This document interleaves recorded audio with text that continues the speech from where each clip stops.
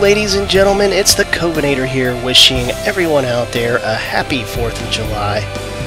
It's not quite the 4th of July yet at the time of this recording, but uh, in a few days it will be, so hope everyone has a wonderful 4th. This is the second tutorial in the series. If you happen to miss the first, I highly recommend you go and watch it, as it focuses on the interesting story behind the A10, how it was conceived and how it was involved in what it is today. I'll make sure to have a link to that video in the description below. This tutorial is going to focus on the design of the A-10 and we're going to cover every inch of this aircraft starting with the nose going all the way to the tail. The only exception is the cockpit which we will cover in depth in the next video. In this tutorial we're going to be taking a close look at the core design, flight characteristics, and all the weapons that the A-10 can employ and by the end, you'll see that the A-10 is pretty unique. In fact, it's the only aircraft in the Air Force that was specifically designed for close air support. So we got a lot of ground to cover. Let's get to it. The A-10C is a fixed-wing, single-pilot aircraft. From the ground up, it was designed to be the most survivable and deadly close air support aircraft in the skies. Starting with the nose of the fuselage is the GAU 8A Avenger 30mm Gatling-type cannon, and although the A-10 can carry a considerable amount of weaponry, it's the cannon alone that uh, instills fear into its enemies, leaving a long-lasting psychological impact on the battlefield. It was pretty much a given in the A-10's design. In fact, it's better said that the aircraft was actually designed around the gun. During the AX competition, when the A-10 was being designed, the decision to make the gun the primary anti-tank weapon was based on a book, Stuka Pilot, by Hans Ulrich Rudel. And in case you're wondering who that guy was, he was the highest German decorated officer in the Second World War. Rudel flew the Ju-87G Stuka for the Luftwaffe and destroyed many Soviet tanks using its two underwing BK 37mm anti-tank autocannons. With over 3,500 combat missions flown and number of successes, he remains unbeaten in all times and all nations. The book was pretty much required reading for the entire AX team.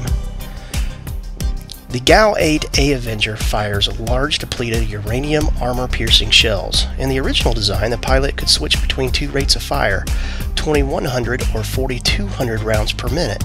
However, this was later changed to a fixed rate of 3900 rounds per minute with the pilot being able to choose from a variety of round types, with the most common being combat mix, consisting of armor-piercing rounds mixed with high explosive incendiary rounds. It takes the cannon about a half second to come up to speed, so 50 rounds are fired during the first second, 65-70 rounds per second thereafter, and while the firing generates about 10,000 pounds of recoil, the flight control system keeps the gun accurate enough to place 80% of its shots within a 40 foot diameter circle from about 4,000 feet away. While the gun barrel only sticks out a little from the nose, the entire gun is actually over 5 feet long, extending underneath the cockpit along the aircraft's center line. It weighs in at about 4,200 pounds, or about as much as, as an average sized car, and is so massive that it forces the front landing gear to be mounted off to the side of the fuselage. Turned out it was actually a pretty smart design decision, allowing the gun to be in the center for increased accuracy, with the cockpit sitting high over the center of the gun for excellent visibility over the, the, the nose. Above the gun is the cockpit itself, which is protected by a bulletproof plexiglass canopy and houses a 0-0 ejection seat along with the various cockpit controls and instrumentation. We'll be taking an in-depth look at the cockpit and the controls in the next tutorial. Protecting the cockpit, and the pilot of course, is 1200 pounds of titanium, referred to as the bathtub, allowing the A-10 to absorb a significant amount of damage from armor-piercing rounds, as well as high explosive projectiles. By the way, in case you're wondering what the 0-0 part of the ejection seat means, it basically stands for Zero Altitude, Zero Airspeed. It is designed to safely eject its occupant from a grounded stationary position using small rockets to propel the pilot to an adequate altitude, or explosive charge is used to deploy a parachute quickly to see the pilot safely to the ground. With the A-10 being a close air support aircraft flying at very low speeds and altitudes, having this type of ejection seat is crucial. It's just amazing that that works from the ground. Moving on to the center section of the fuselage contains the forward and aft fuselage fuel tanks, which are the main fuel tanks of the aircraft which are covered with a fire retardant material and are self-sealing should any of them become compromised. And moving outward from the center of the aircraft are of course the wings, which are low mounted and straight, giving the aircraft excellent maneuverability and a very low stall speed. The wing design does cause the A-10 to be a bit of a slowpoke compared to other fighter aircraft, but allows the A-10 the ability to loiter over the battlefield, staying in a small assigned target area with a high level of endurance. And at the base of the wings are additional fuel tanks, one for the left and one for the right, and as the main uh, fuselage tanks, they are also self-sealing and filled with a flexible foam to prevent explosion. Additional fuel tanks can be mounted underneath the wings, but do not have this level of protection, so they are generally just used in ferry flights and never used in combat. On the side trailing edge of the wings themselves are the flaps. Uh, the flaps are powered by the hydraulics, are divided into two outer and inner wings, which all raise and lower simultaneously. At each of the wing tips are the two ailerons, and the ailerons allow the aircraft to roll. In addition to the primary function of imparting roll control to the aircraft, each aileron can also split vertically to form a speed brake. The ailerons are powered by either hydraulic should one of them fail. If both hydraulics fail, the ailerons are further backed up by a push rod and linkage system called the manual reversion flight control system. So if one of the ailerons should get jammed, there is an emergency disconnect switch to free it. Underneath each wing and extending forward, left and right, are the wheel wells.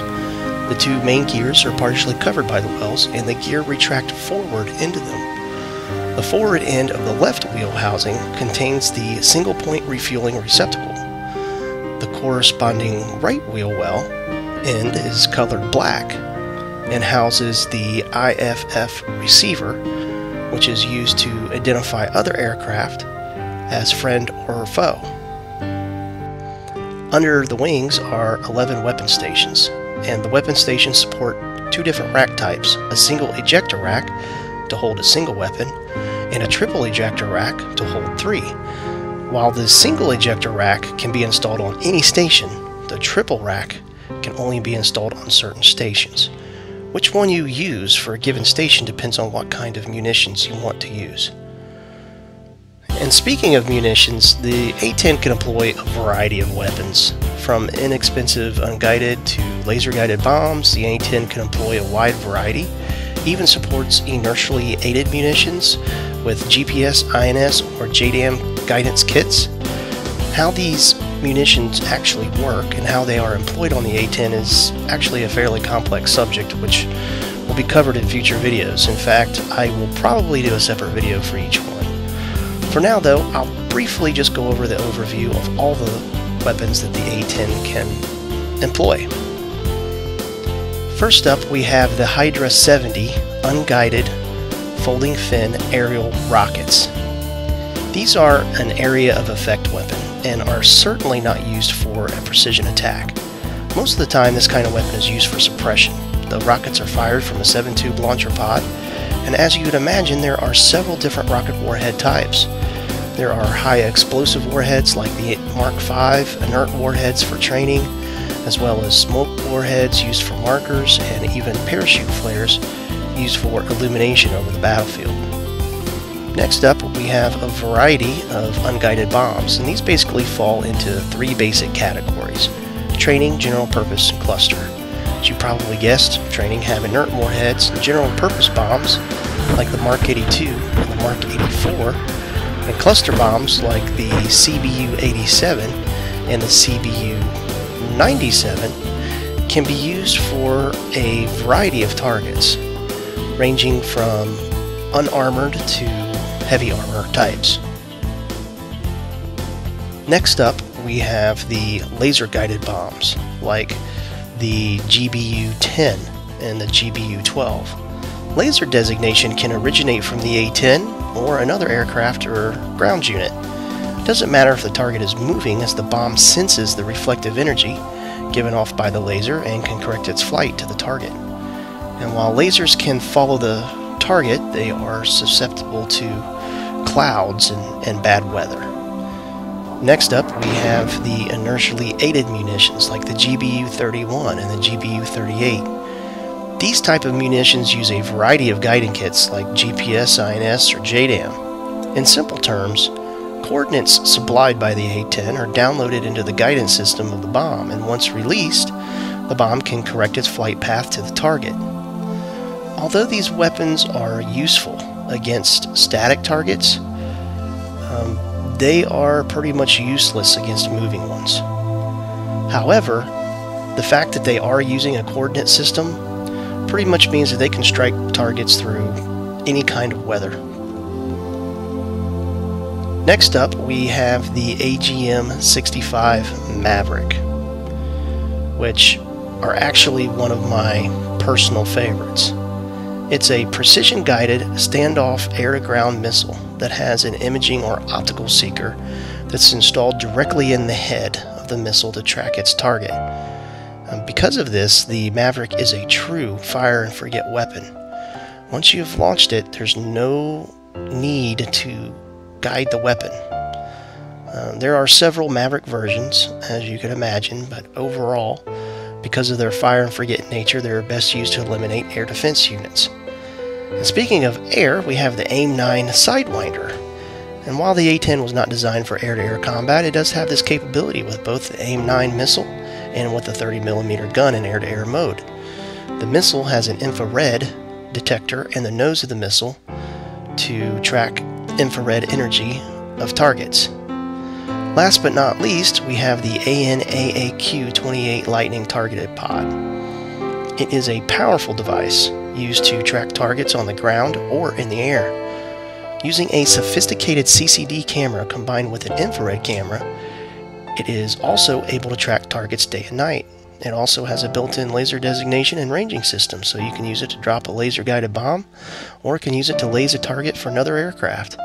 And because, because of its sight range, it's, it's best used above 10,000 feet.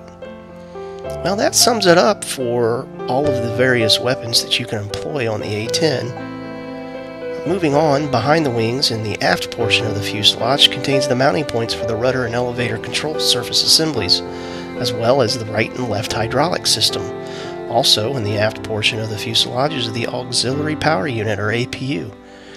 If you're wondering what the APU is, it's actually a small turbine that is used to provide auxiliary electrical power to the aircraft as well as start the main engines. For the main engines, we have the A10C uh, twin TF34GE 100A engines that are mounted high on the rear fuselage between the wings and the rear stabilizers. The unusual placement reduces the chance that the engines could ingest foreign debris also reduces the infrared signature of the aircraft due to the shielding of the horizontal stabilizer. Also, the engines are mounted high, meaning that on the ground the engines can remain running while the aircraft is refueled or rearmed, leading to faster mission turnaround. At maximum thrust, each engine produces about 9,000 pounds of thrust. There is no afterburner, and while it's true that the A-10 is no speed demon, the engines are reliable, fuel economic, and durable in their current form. Moving on to the rear of the aircraft are the elevators. The two elevators are attached using a shearable crossover shaft that can be disconnected if one of the elevators become jammed. This is done by using an elevator emergency disconnect switch, and this will allow the other elevator operate but with less pitch authority. Like the ailerons, each elevator is powered by either hydraulic, and should one fail, um, uh, the other one would take over, and if both hydraulics fail, the manual reversion flight control system allows control to be shifted from hydraulics to mechanical push rods and cables. Yaw control is provided by two rudders, and each rudder is also powered by several hydraulics should one fail and are in turn connected to the rudder pedal pedals via a cable and linkage system should both hydraulics fail. But unlike the elevators and the ailerons, there is no emergency disconnect option if one were to get jammed.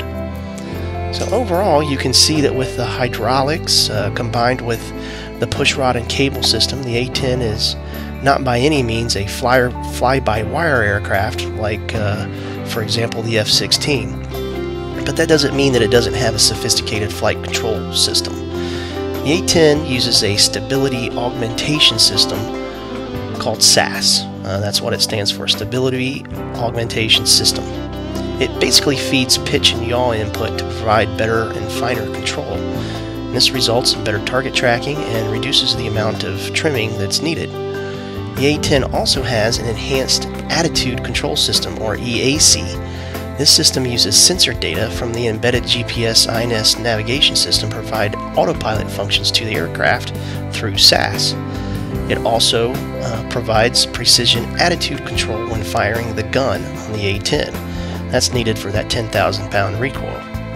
The flight control system combined with the hydraulics and the cable pushrod system provides a good stable weapons platform to accurately employ weapons from and is very much a seat of your pants aircraft to fly. It can be extremely responsive in the right hands. Altogether, the A-10 is an exceptionally survivable aircraft with excellent pilot protection, with its strong airframe to its triple redundancy in its flight systems. To put it in perspective, with all of the redundancy involved, the aircraft could fly with one engine, one tail, one elevator, and half a wing blown off, and still make it back to friendly airspace. And with all the high-tech uh, control systems in place, the variety of modern-day uh, weapons that the A-10 can employ, and let's not forget that BA Brock is cannon on the front, there's nothing in the skies that even comes close to what the A-10 can do for close air support. Well, that wraps it up for this tutorial. I hope you enjoyed it, or at least found it to be informative. If you like what you've seen and you want to see more, uh, please take a moment to like and subscribe. It really does mean a lot, and it motivates me to continue the series. Anyways, guys, happy flying out there, happy 4th of July, and thanks so much for watching. This is the Kovinator, signing off.